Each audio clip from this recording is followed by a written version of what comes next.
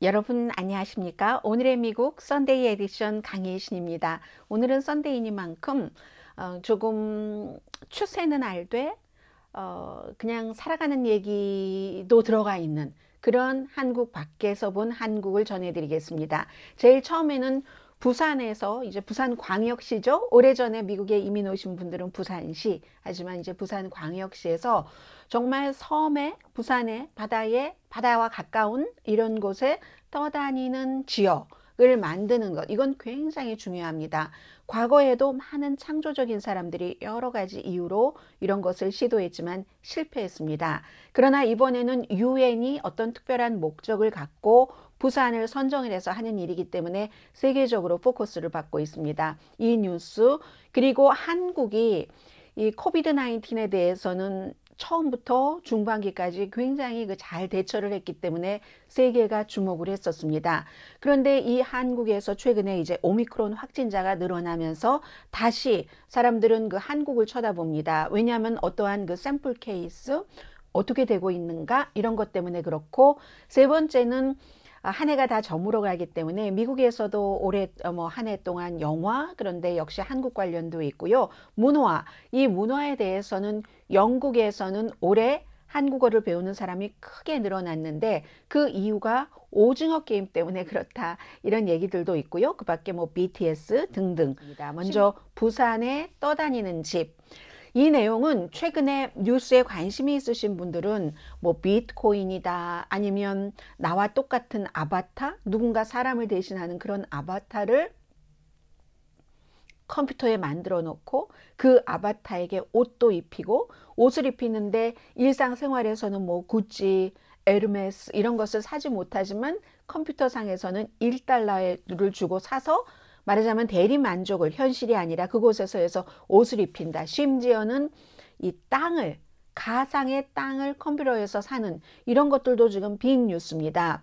글쎄요, 그것보다는 조금 현실적, 많이 현실적이 되지만 부산 광역시에 떠다니는 도시, 떠다니는 지역, 미국으로 말하면 district 같은 것이 만들어진다.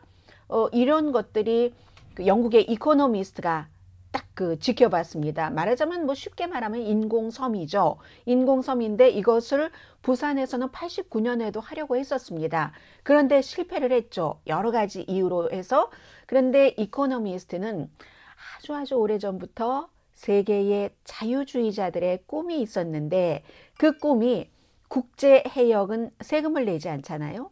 그리고 이제 스스로 정부가 되고 세금을 내지 않고 떠다니는 국제 해역, 바다, 여기는 이제 국제 공동 뭐 이런 것이기 때문에 그렇게 하는 것을 굉장히 그 꿈을 꿔왔고 실제로 실천을 했었던 사람도 있는데 그 한 예로 가장 가까운 2019년도에 미국인과 이제 그 태국 사람들이 작은 cabin, 떠다니는 cabin이에요. 떠다니는 cabin에 살면서 태국에서 이제 그 해역에서 12마일 떨어진 곳에서 그렇게 살았는데 금방 태국이 철거해라 해서 이제 태국 정부가 그 지어지자마자 뭐 오래 산 것도 아니에요. 지어지자마자 토잉해버렸습니다.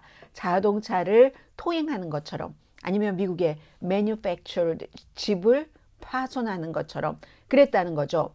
아시아의 다른 정부들도 바다에 사는 것을 시도해봤지만 그렇지만 이렇게 저렇게 안 됐습니다. 그러다가 부산에서는 89년도부터 여러 차례 하려고 하다가 안 됐던 것을 11월 달에 해안 가까이에 이제 유엔의 에이전시죠. 유엔의 그 헤비타트, 유엔 그 헤비타트 그러니까 유엔의 기구 중에서 도시 정책을 총 책임짓는 이곳이 결정을 한 거죠. 부산을. 부산 이외에도 있습니다. 뭐 뉴욕에 미국의 뉴욕이라든가 아니면 아부다비 이렇게 세 군데를 선정을 해서 어, 이렇게 다른 곳과 연결을 해서 기금 같은 것이 굉장히 중요하잖아요. 부산에 그 말하자면 떠다니는 집을 인공섬 같은 것을 지어보겠다 하는 것을 선정이 된 겁니다. 오션익스라는 회사가 있습니다. 이 회사 이제 여러 사람이 함께 운영을 하고 있는데 지금까지 말씀드렸던 그 같은 집을 짓는 기금을 마련하고 또 실제로 짓고 하는 것을 어, 지금 여러 번 그 시도를 했었던 회사가 얘기를 하기를 한 2천만 달러 정도가 있으면 미국 돈으로 300명에서 500명 정도가 살 수 있는 집을 짓는다. 그러면 그다지 돈이 많이 들어가는 건 아니죠. 로스앤젤레스에서 로스앤젤레스 평균 집값이 요즘에 그냥 아주 아주 평균 집값이요. 보통 이상의 평균 집값은 100만 달러 이상 됩니다. 파사디나도 100만 달러 이상 되고요. 풀러턴이 그보다 조금 낮고 그런데 2천만 달러면 그런 집 20채밖에 안 돼요. 그런데 어쨌든 300명에서 500명 정도가 살 수 있는 그런 곳을 짓는다고 하고 이게 지금 처음이니까 그렇지 나중에는 점점 가격이 싸지겠죠. 결국은 뭐 만채 정도를 쉽게 지을 수도 있다고도 얘기를 하고 있는데 왜 그럼 유엔이 부산을 이렇게 선정을 해서 이런 일을 하는가? 해 수면이 높아지기 때문에 기후 변화와 연관이 있는 거죠. 그렇기 때문에 가능하다는 겁니다. 예를 들어서 떠다니는 도시가 기본적인 이 그 바다 가까이에 는 있는 땅을 개간하는 것보다 오히려 안정적이랍니다. 플로리다주에서 얼마 전에 여러분들 그 바다가 바라보이는 콘도가 그 몇십 층짜리가 확 훅 하고 무너진 거 보셨죠? 완전 먼지가루가 된 것. 그게 이제 해수면, 기후변화와도 연관이 있는 건데, 공사 자체의 문제도 물론 있지만, 부실공사 등등. 그래서 해수면이 높아지는 것을 과학적으로 건축 설계사적인 면에서 잘 활용을 해서 이게 이제 모래와 연관된 거잖아요. 모래 위에 집을 지으려니까 뭘 어떻게 하고 더 깊게 파고 그리고도 더 채워 놔야지 되고 하는데 그렇게 하는 것보다는 차라리 물 위에서 떠다니는 도시, 떠다니는 섬, 떠다니는 district을 짓는 것이 훨씬 안정적이라고 생각을 한다는 겁니다. 그러면 부산 광역시는 왜 이런 것을 받아들일까요? 항상 그 도시는 로컬의 그 정치인들이라던가 아니면 그 관계자들은 도시 산업을 생각을 합니다. 그렇게 되는 경우 정말 부산의 선박회사, 선박업계 같은 것이 강화될 것인가? 뭐 배와 비슷한 집을 짓지 않겠어요? 그런 형태로 해서 한국의 도시들은 꼭 부산뿐만이 아니라 여러 가지 그 관련 그런 그 이, 이 같은 연결고리가 있으면 지지하죠. 로컬 경제를 활성화시키기 위해서 이코노미스트의 얘기지만 그게 한국만 그렇습니까? 미국도 마찬가지입니다. 로스앤젤레스, 샌프란시스코, 조지아의 뭐 애틀란타 다 마찬가지죠. 로컬 산업의 경제를 활성화시키는데 유리하다 하면 누구나 다 이런 일을 합니다. 그래서 이코노미스트와 이그 그 Oceanix의 founders 가운데 한 사람인 마크 컬린스 첸이라는 분이 인터뷰를 했는데 전에도 그 이분이 그, 그, 그 Tahitian 랑군이니까 어, Tahitian lagoon이니까 그, 그 어디죠? 프랑스령이죠. 폴리네시아. 여기에 바로 지금 부산에 하려고 하는 것 같은 것을 시도했다가 실패했죠.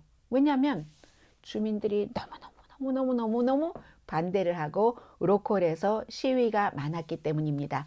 어쨌든 이번에 그 부산 광역시에서 떠다니는 인공섬, 떠다니는 집 을 지으려고 하는 것은 굉장히 기술적인 것에 포커스가 맞춰져서요. 가능하다면 떠다니는 집에서 사는 것이 편안하다면 언젠가 다른 사람 여러 가지 의미에서 도울 수 있을 것이다.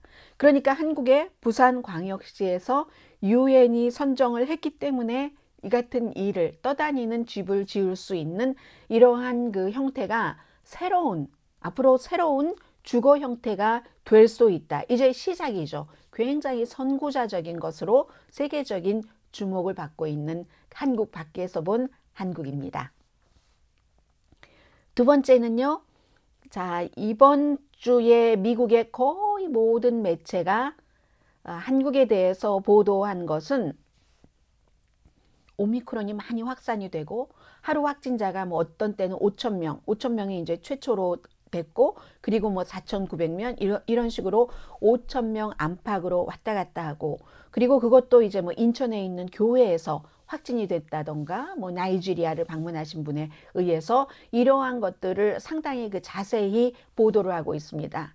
당연히 한국도 미국처럼 이 오미크론 변이가 이제 세상에 그 존재가 확인되고 난 뒤에는 여러 가지 그 규제를 하고 있죠. 그래서 이제 뭐 도시, 도시 밖, 서울, 서울 밖에 뭐 과거에 어, 몇 명까지만 모이게 됐다. 이것을 이제 더 격리를 해서 이제 여섯 명으로 제한하고 서울 밖에는 여덟 명으로 하고 그전에는 뭐 여덟 명 열두 명 그랬었죠. 그리고 앞으로 또 백신 증명을 백신을 맞았다고 증명을 하거나 아니면 이제 음, 테스트 음성인데 그냥 쉬운 테스트가 아니라 rapid test가 아니라 PCR 테스트 더 까다로운 이 테스트를 해야지만 식당, 커피숍, 도서관, 박물관, 영화관에도 한국에서도 들어갈 수 있게 한다는 거. 그런데 한국은 종교 서비스에는 아니다. 이런 게 이제 대부분의 매체가 지적을 하고 있는 점입니다. 종교 매체에서는 이런 것을 안 한다고 하는데 그런데 아, 지난번에도 그랬고 이번에도 사실은 이러한 확진자가 나오는 것은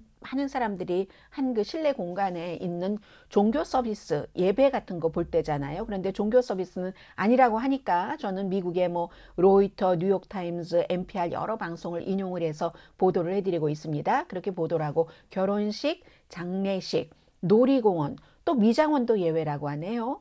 어, 미국은 뭐 실내 그 식당 엊그제 보니까 굉장히 까다롭게 하던데 아무튼 이러한 내용을 전하면서 백신의 경우도 한국 지금 백신 접종률 굉장히 높습니다. 최근에 많이 높아져서 91.6% 백신 접종 받은 것으로 로이터는 보도를 하고 있습니다. 그런데 부스터샷은 8.1%만 금요일 현재 지금 그 접종을 받은 것으로 나타나서 그리고 앞으로 이제 2월 달이 되면은 원래는 그 18살 이상부터 뭐 예를 들어서 백신 증명을 해야지 된다 했는데 2월 달부터는 12살 그러니까 10대들도 백신을 많이 맞아라 하는 것을 한국 정부도 장려를 하고 있는 거죠. 이런 내용들 지금 하고 있습니다. 지금 병원의 침상 보면은 80%가 한국도 코로나 바이러스 환자들이라고 하거든요. 그러니까 한국에 계신 분들은 너무 잘 알고 계실 테고 한국을 방문하려고 하시는 분이나 아니면 한국의 가족 또 친한 친구 사랑하는 사람들이 있는 분들도 한국에 지금 이런 분위기를 알아두시면 좋을 것 같습니다. 그리고 최근에 환자 같은 경우는 코로나 바이러스 환자 진단자의 86% 그리고 중증의 57%도 한국에서는요, 백신 접종자라고 하거든요. 그러니까 이 비율은 미국보다는 조금 높은 것 같습니다. 아무래도 한국에서 맞고 있는 그 백신과 미국에서 맞고 있는 백신이 좀 다르기 때문에 그럴 수 있을 것 같은데, 미국에서는 아스트라제네카는 많이 안 맞았고요. 한국은 아스트라제네카 맞으신 분들 많으시죠? 미국은 그 Pfizer and BioNTech, 두 번째가 모더나, 세 번째가 존슨 앤 존슨인데 12월 1일에 하버드 대학교의 그 공공 그 건강 연구소에서 44만 명의 미국 군인들 veterans를 대상으로 조사를 했더니 이 백신에 관한 효력이 Pfizer and BioNTech하고 모더나만 비교를 했습니다. 둘 다 아주 좋은데 모더나가 조금 더 높다 이렇게 나왔거든요. 그럼 maybe 아스트라제네카와 모더나, Pfizer and BioNTech과 비교해서 차이가 나는 것인지 한 미국보다는 한국이 이 환자, 그 진단자의 중증 환자와 병원에 입원하는 환자, 백신 접종자가 훨씬 좀 많아 보입니다. 제가 뉴스를 보도를 했었던 것을 통계로 삼으면요. 50세 이상 감염자가 10월 이후에 급격히 한국에서 늘어났고, 어, 그런 것과 마찬가지로 부스터샷 접종도 지금 많이 늘어났다라고 하는데, 한국도 미국과 마찬가지로 학교 오픈했잖아요. 어, 그런데 이제 지금 한국을 지켜보는 이유는 초기, 중기에 굉장히 아주 아주 그 접, 어, 백신 접종을 하지 않았을 때도 한국에서 한국이 백신을 개발하고 만든 국가가 아니었으니까요. 그리고 그 당시에 완전한 미국처럼 그 샷다운, 락다운 어떠한 그 문을 닫고 하는 것이 없었어도 이렇지 않았는데 지금 굉장히 높아지니까 이럴 때 한국 정부가 이렇게 대응을 하고 있는데 이 같은 것이 어떠한 그 결과를 가져올까 여기에 지금 세계 언론이 주목하고 있는 것 같습니다. 그리고 지금부터는 조금 소프트한 뉴스를 전해드리겠습니다. 먼저요, 이것은 한국과 미국에 다 해당되는 뉴스인데 2021년도 여러분들 그 넷플릭스에서 뭐 오징어 게임이다, 지옥이다, 또 뭐가 있죠? 최근에 뭐 사극도 있던데요. 2년이다.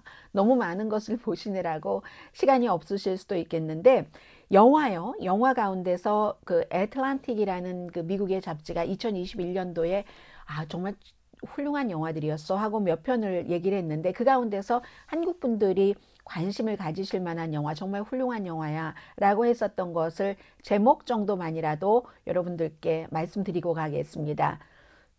No Time to Die. 숨질 시간이 없대요. 007 시리즈죠.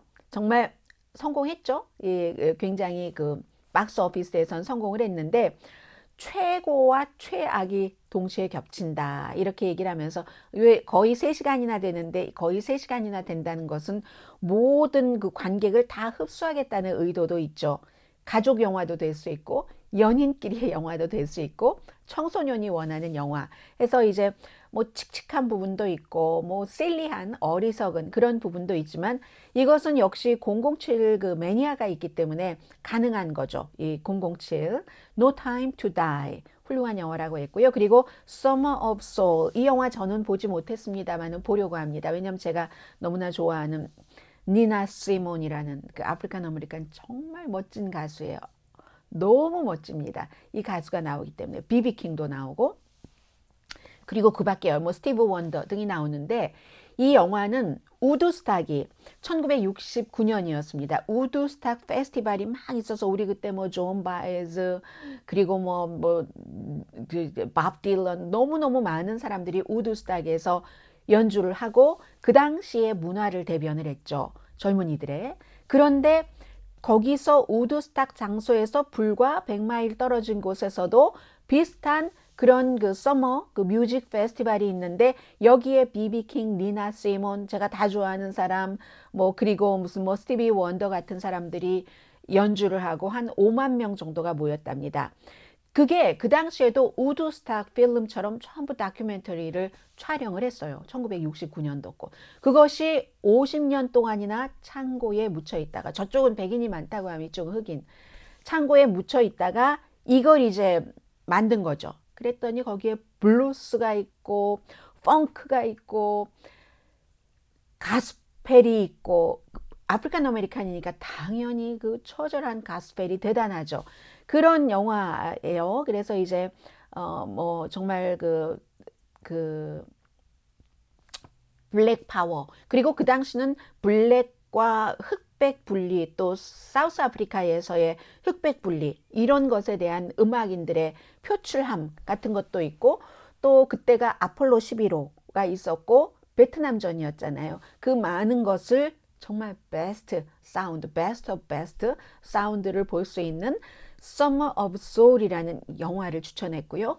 애틀란틱이 또 하나 추천한 영화는 제가 한국 밖에서 보는 한국인데 이 영화를 추천하는 이유는 끝에 말씀을 드리겠습니다. Father라는 80세의 앤토니 홉킨스가 치매를 그 앓고 뭐 여러 가지를 연기하는데 결국은 이 앤토니 홉킨스는 아카데미 시상식 주연 후보에 올라가야 된다. 이렇게 얘기하면서 치매라는 것이 두려움이고 극한 두려움과 분노 뭐 이런 여러 가지잖아요. 그리고 또 하나 같은 비슷한 theme의 그 슈퍼노바라는 그런 그 long 오랫동안 같이 했었던 커플이 마지막 holiday를 보내는 정말 happy한 커플이 비극으로 가는 이것도 역시 치매가 나오고요.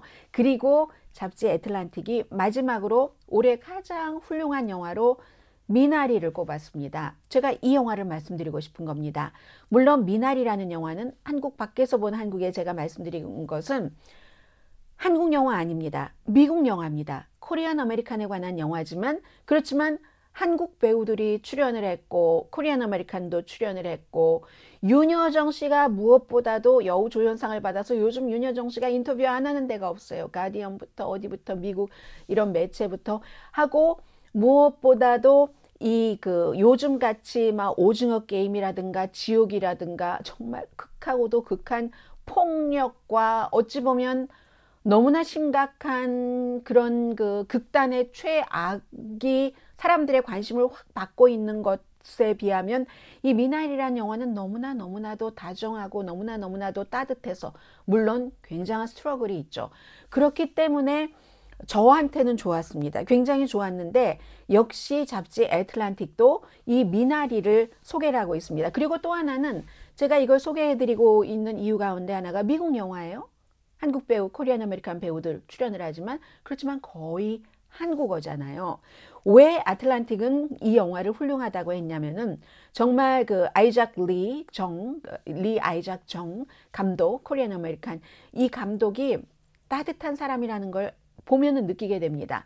그런데 그 따뜻함이 감상적이지 않는 거라는 거죠. 본인의 1980년대의 어린 시절을 쭉 영화로 그렸는데 universal한 그 theme이 있다는 거죠. 요즘 오징어 게임이나 지옥의 universal한 theme은 한국 사회가 완전히 정말 너무 심각하게 흉한 사회라는 그런 것을 보여주면서 세계 공통적인 부의 불균형이라든가 아니면 극단적인 어떤 극단적인 것에 침몰하는 것을 보여주는데 그에 비해서 이 미나리라는 것은 더 좋은 미래를 찾아가는 고통을 쫓는다는 것 그런 영화의 그런 뜻에서 미나리를 잡지 애틀란틱은 2021년 뭐 이미 아카데미상도 다 받았지만 다시 볼 수 있는 최고의 The Best Films of 2021이라고 꼽았습니다.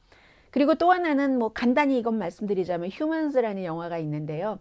그 스티븐 연 미나리의 남자 주인공이 나오는 뭐 많이 아시죠 여러분들 이창동 감독의 버닝에서도 보셨고요. 이 아 또 하나 있죠. 그 뭐죠? 아 돼지 나오는 영화요. 아 아무튼 옥자 옥자에도 나오고 추수감사절 영화가 아주 그로테스크하게 표현이 된 이 영화. 이 영화는 사실은 귀신, 괴물, 무슨 유령같이 된 것, 집에 누가 쳐들어가고 빈 빌딩이 으시시하고 또 그거보다 더 황량한 숲과 이런 거 하나도 안 나오게 뭘 얘기를 하겠습니까? 요즘 넷플릭스에서 유행하는 한국의 많은 드라마를 얘기를 합니다. 그런 거 하나도 안 나오면서도 가장 오래 무서운 영화라고 하거든요.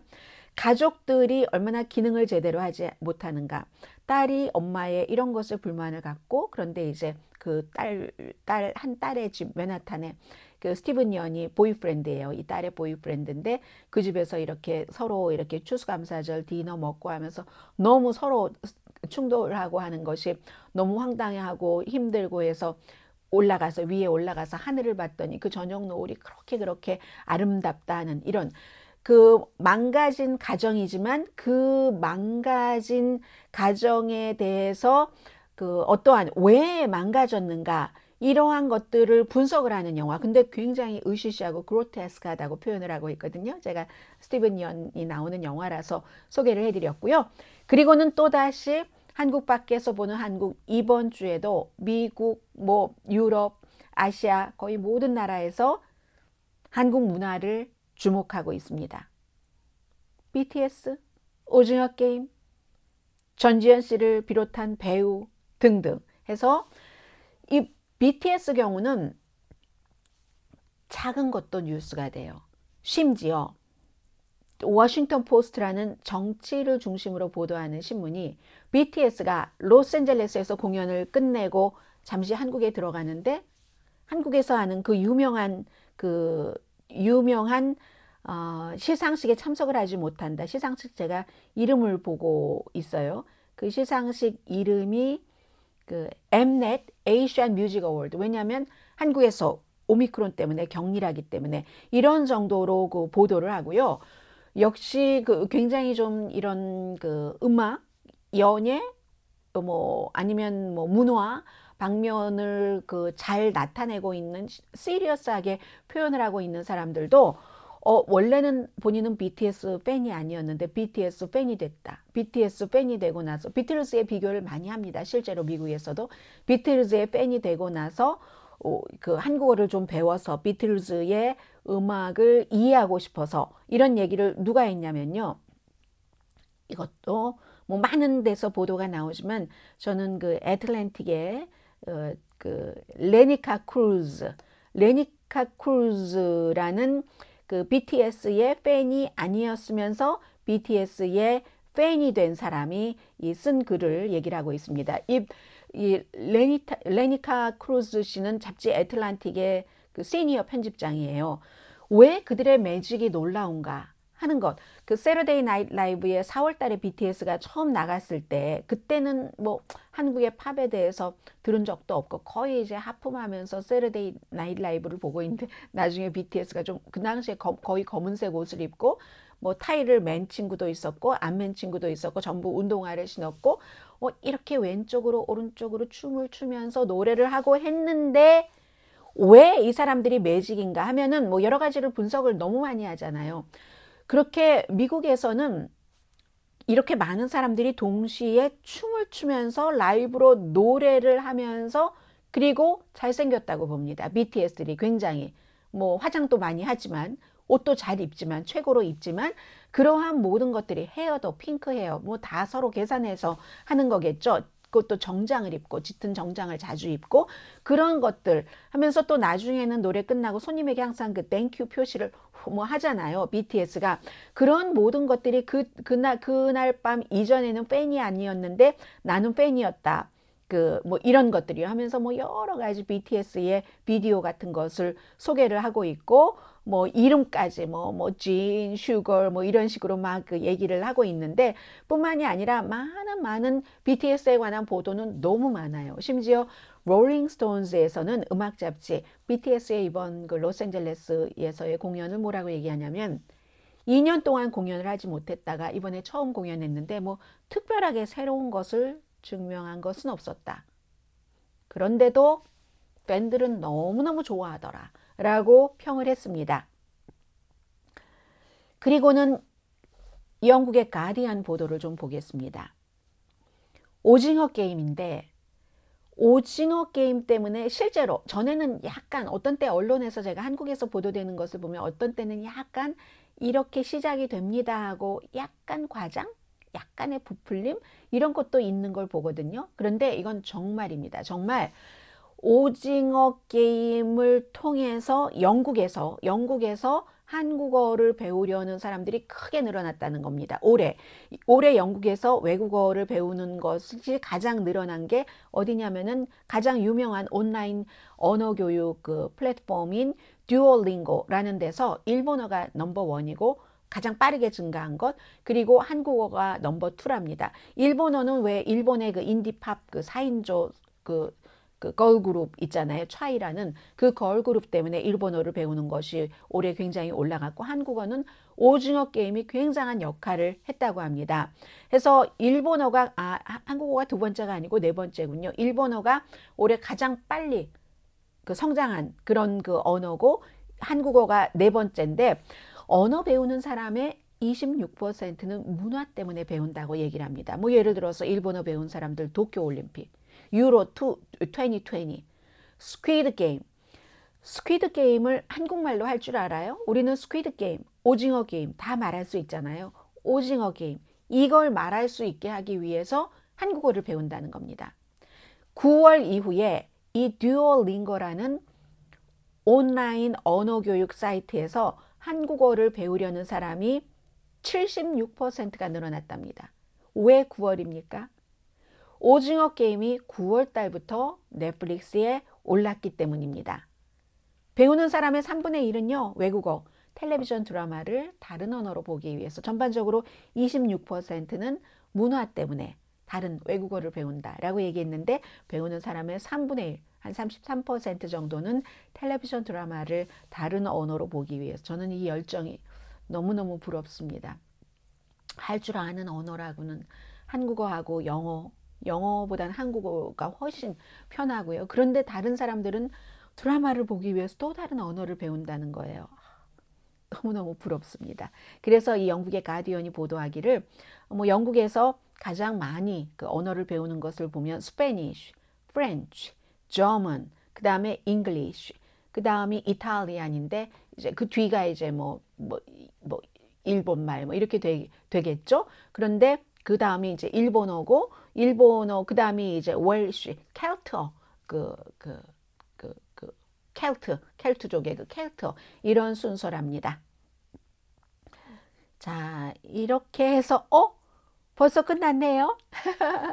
네, 이런 날도 있어야죠. 제가 아, 이것을 마지막으로 해놨나 하고 예상하지 못했습니다. 이리하여 12월에 오늘 첫 번째 일요일 오늘의 미국 음, 그 Sunday edition 마치겠고요. 저는 내일 여러분 뵙겠습니다. 뭐 내일부터 다음 주에는 big news가 어, 미국 그 바이든 대통령과 블라디미르 푸틴 러시아 대통령의 미팅 같은 것도 있고요.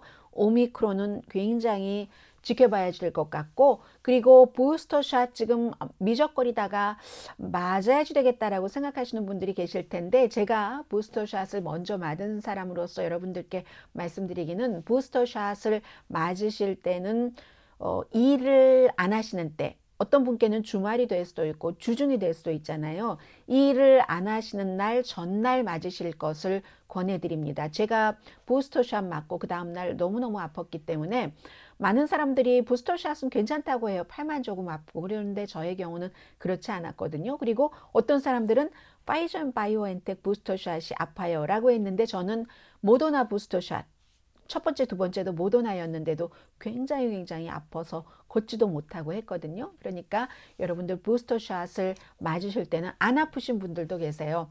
맞으실 때는 그래도 이 일을 안 해도 되는 일을 할 수 있는 컨디션이 아닙니다. 그러니까 이 일을 안 하시는 날에 맞춰서 그 다음 날이요. 오늘은 괜찮아요. 맞은 날은 일을 안 하시는 날이 다음 날이 되도록 부스터샷 꼭 맞으시고요. 내일 오늘의 미국 정규 방송 시간에 뵙겠습니다. 강혜신이었습니다.